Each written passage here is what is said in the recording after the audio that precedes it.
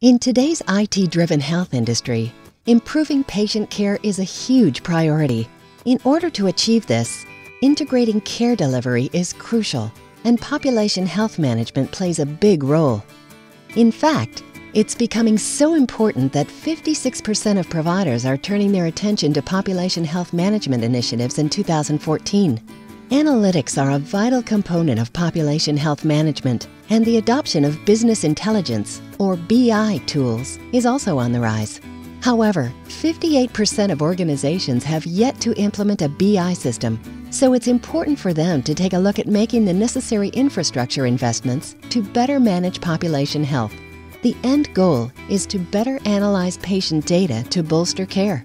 That's why 72.5% of organizations are already integrating clinical and claims data to manage population health. It's a systematic and effective way to make improvements across the entire care continuum. For that reason, tools like EHRs, patient registries, patient portals, and telehealth will be used even more frequently to support BI and gain a truly holistic patient view. Looking ahead, population health management adoption will continue to grow. Are you considering upgrading your infrastructure to support population health management and BI initiatives? CDW Healthcare can help.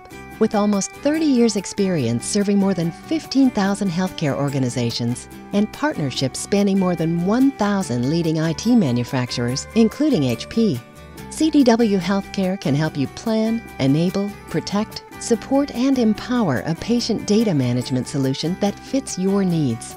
To learn more, visit CDW Healthcare's CommunI.T. or contact your account manager